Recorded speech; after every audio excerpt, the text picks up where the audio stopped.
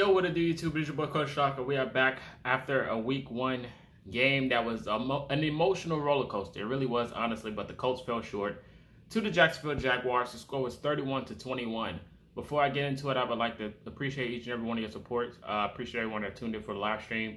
Um, if you guys are interested in more content, be sure to like, comment, and subscribe. Moving forward, turn on your notice. We're going to have content dropping. Uh, but moving forward, we're going to talk about the the game, of course.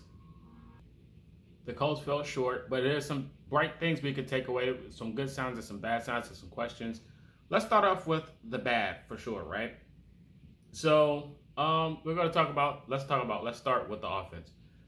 The offense is showing some signs of life, to be honest. Um, but the offensive line, a lot of people didn't like the production that it, it showed. But I think the pass pro when it comes to pass blocking, I think they did a really good job. You've seen a lot of plays where Anthony Richardson just stood in the pocket and took his time to go through his progressions and actually read who was open to wait for somebody to be open to make a play, which was awesome to see. The run blocking was terrible, um, honestly. Um, a lot of plays were just, well, pretty much all the run plays were just weren't good at all. Like the blocking was just, the Jaguars just knew what the Colts were doing when it comes to run blocking, and they were just surrounding surrounding the run game. Like they just had it figured out from the beginning. Um, the defensive line was a force when it came to that, but I think overall, I think the offensive line showed some progressions and some signs of improvement. One of those things being is though is because we have a guy named Anthony Richardson at quarterback now. And I think a guy like Anthony Richardson, when it comes to his mobility and being able to create outside of the pocket, is a sign of you know of growth and improvement and it pretty much shadows and hides some of those problems you have of the offensive line that may show when you don't have a mobile quarterback. Like if you have a pocket present quarterback that's not really mobile, like yeah, last year, for example, a guy like Matt Ryan or a guy like Carson Wentz, Sam Ehlinger maybe, uh, but Nick Foles of that nature. When those guys are in the pocket and they can't be as mobile as you uh, will hope to create something out of nothing, they're going to result in a lot of sacks, interceptions, and fumbles, or a few throwaways. But you know that pretty much showed last year, and that was a big issue is our quarterback not being mobile enough to make something happen, um, and not just be a statue in the pocket. But having a guy like Anthony Richardson, you've seen the glimpse in training camp, you've seen the glimpse in preseason. He can make something out of nothing, and there was a lot of plays where he just made a play off of his feet just by moving around and moving outside of that pocket on the rollouts. And it's, tru- it's truly a, a beautiful thing to see. Uh, another thing, uh, the run game, like I mentioned, uh, the run game was very bad to watch. Um, it was something that you're not used to, you know, that you don't want to see as a Colts fan, especially when we're campaigning for them to run the ball, and that just happens to not be a thing. A lot of Colts fans predicted this moving forward, is that you know the run game was going to be very evident moving forward into you know early in Anthony Richardson's career, just to open it up for him to you know start creating pass plays. The run game was very used it was used the usage rate for running was very high. But unfortunately, you know, Deon Jackson had a very bad game in my opinion. Plus the fumble, um, he just couldn't seem to figure it out. But it's not all on him. The offensive line, when it comes to blocking on a run, just wasn't great. Um, other than that, you know, Evan Hull, he got banged up. He had an injury, but it, you know, it was a tweak. We'll get more on that later on in the week.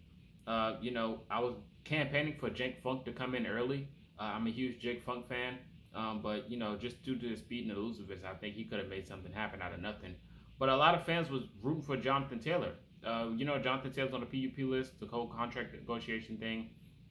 A lot of fans thought, you know, Jonathan Taylor uh, could have made some of those plays happen when it didn't. Um, and you know, a lot of fans are right. Jonathan Taylor probably could have, but I don't like to think of, you know, could have, would have, should have, because in natural reality, Jonathan Taylor is coming off of an injury last season. It wasn't his best year last year as well. So I don't like to predict, oh, you know, it's one yard. Could he have done it? You know, because in the, the natural situation, last year there was a few times when, you know, it was fourth and short and we asked for Jonathan Taylor to do it and just couldn't get up there. And a lot of that is due to the offensive line. So like I mentioned, you know, when it comes to Jonathan Taylor and the Colts, I feel like the offensive line situation still would have, you know, it doesn't matter who's back there. It could have been a star, it couldn't have been a star. With the offensive line blocking, the run, I don't think anybody could have made any type of success with it. And that's no knock on Jonathan Taylor because I'm a Jonathan Taylor fan, just like everyone else. But I feel like, you know, with him on the team, I feel like the blocking still would have been poor. So it wouldn't have created nothing for Jonathan Taylor, even though he can, you know, bounce out left or right and try to make a play out of nothing, but it's one yard. So I feel like nothing would have changed, honestly. It just ha- it just means the blocking has to be better, in my opinion, in all honesty. Now, we don't know what the future may hold going into week five when Jonathan Taylor comes back, if he's going to play or not. But, you know, we're going to leave that up to them. And moving forward, you know, like I said, the run game was just terrible to watch. Anthony Richardson led the, the team in running, which was which was fine. Uh, even though you know he made some gutsy runs when he almost hurt himself, um, and he wound up tweaking his uh, his knee. Uh, he bruised his knee at the end of the game, but he's fine. Um, he, you know, he went down and you know didn't get up for a minute, so a lot of Colts fans was worried, but it's okay. Uh, moving forward, we're going to talk about the wide receiver department, the wide receiver room. Um, you know, they weren't used a lot this game, and that kind of bothered me because you know we got some talent that just couldn't get the ball. Um, you know, well, I would put the receivers and tight ends in general together in this one, so I won't hold you up. But you know, Josh Downs, I feel like if he was used more, the offense would have seen a little bit more production. Um, you know, there was one play earlier in the game, like in the first half, when Josh, Josh Allen caught a zip from Anthony Richardson and just took off for like 10 yards, 10 to 15 yards, up the middle of the field, which almost led to a touchdown. But um, yeah, there's plays like that when Josh Downs is your gadget guy and he's, you know, he's quick. You know, we know how good Josh Downs can be. Reggie Wayne knows. It just comes down to getting him involved more into the offense.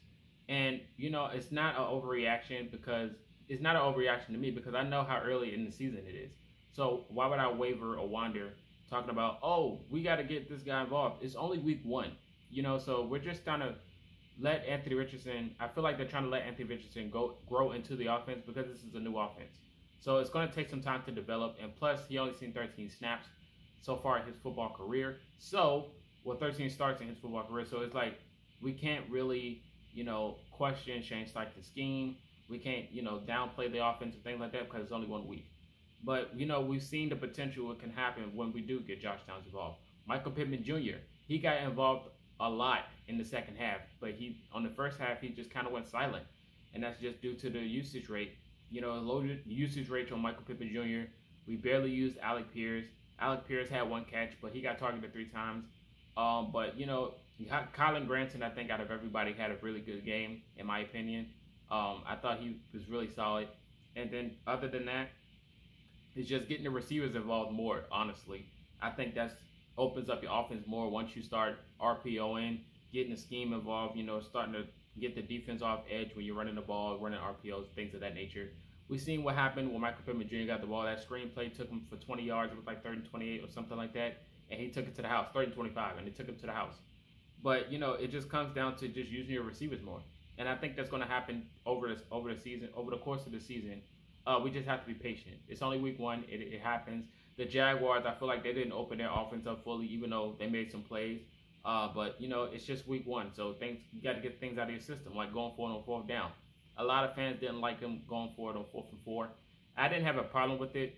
Uh, we got to realize we got a new coach and a new QB, so you know some things are going to be like, why did you do that?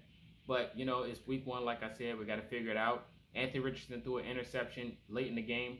I kind of wanted it to happen earlier, but you know it was just bad timing. Tyson Campbell, uh, I was told he was the best corner on the Jaguars, baited him into throwing a pick, and he learned from that. And he learned from that in the in the same game, which is awesome to see. Uh, you like to see development throughout the game, throughout the process. How do you recover from those situations, the mistakes? It's like a mental error. How do you learn? How do you learn from those? And he learned from that during the game, so that was a good thing to see from Anthony Richardson. Um, going towards the defense, I think the defense stood out. The defense did a solid job. Our front line did amazing. It was good to see Kwity Paye back out there causing pressure because last year, you know, it was a, it was an up and down season for him. And we asked about Kwity Paye going into this year, how he was going to bounce back. How was he going to step up with the loss of Yannick Ngakoue, losing him in the offseason and going somewhere else? How is this defensive line going to look? And I felt like they was faster, more athletic, and, and very good at pressuring Trevor Lawrence because that's what I asked for. I asked if we can pressure Trevor Lawrence, how would that look? And you've seen it. Shout out to Tory Brown, uh, Tony Brown catching that interception early in the game on Trevor Lawrence. This team did a really good job on putting pressure on Trevor Lawrence. The secondary, I know a lot of people questioned it, but in all honesty, I think the ball placements on Trevor Lawrence that he was throwing it just wasn't catchable for the defenders. He was just putting it on the money each time. There was times where he would roll out the pocket, throw on a run, and the way he was just placing the football just for his wide receiver only to catch it, there was no question. There was no question. There was nothing you could do about it, all honesty. I think Trevor Lawrence was just putting the ball on the money on certain plays, and it just was a, a, a sight to see. Other than the secondary, Julian Blackmon almost caught a pick. The ball fumbled out of his hands. Totally normal. I get it. I said the ball was slippery. So, I mean, if you look at it on replay, he fumbled the ball like at least six times trying to catch it. Um, so I thought the ball was slippery in my opinion. So it is what it is. But Zaire Franklin and that linebacker group, they stood out today, man. They stood out on that game, man. They really did. Zaire Franklin, it was good to see Shaquille Leonard back out there. The linebacker group did an amazing job. The, the front line, they did great. DeForest Buckner, Grover Stewart, uh, Samson, uh, Ebukam, uh, he stood out. Kwity Paye stood out. Uh, I just think the defense, in all honesty, had a really good game. They really did. Now, of course, you say, well, it's not good enough because the Jaguars won. I mean, but this is the same issue we've seen over the years when it comes to the defense being on the field for too long. The offense couldn't make any noise, and they went for it on fourth down, so that just caused for the defense to go back sooner than expected. And of course, the defense is going to get gas, so they're going to get cooked. It happens. It's normal. Blown coverages, things of that nature. But I think, in all honesty, the defense was the sole reason we was in this game, um, and they did what they had to do. So I was not. Uh, I was impressed with the defense. I loved every side of it, and you know, the offense just got to be better moving forward. I think to take away from it in general, I think Anthony Richardson shown signs of improvement. He's shown signs that he's ready, he's confident, he's composed, and he's learning from his mistakes throughout the game and that's awesome to see. And it's only been one week, so I'm happy to see you know him out there. His fresh start. The crowd was electric. The game was electric. There was signs and this. There was expectations that shown that we had a chance to. We could have won it. We could have won the game. But you know, to each his own. You know, penalties happen. It was unfortunate. Quenton Nelson went down, but he came back. Uh, but like I said, this is an unfortunate loss, but they've shown you progress. They put up more points on offense than we see in all season last year in my opinion. I think his offense, even how stale it was, it was stale, but I think it was still better than last year's offense.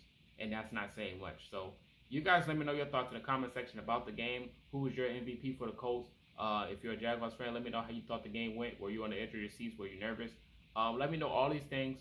Um, it was a good game and overall, uh, I enjoyed watching it. I was stressed out. I was on the edge of my seat eating popcorn, but I really felt like the Colts could have won that game. Moving forward, next week we play the Houston Texans. It's going to be a good one. Stroud versus Richardson. But all of that, you guys let me know in the comment section. This is Marcus. And until next time, you guys stay tuned. Signing out, you've been Coach Shot.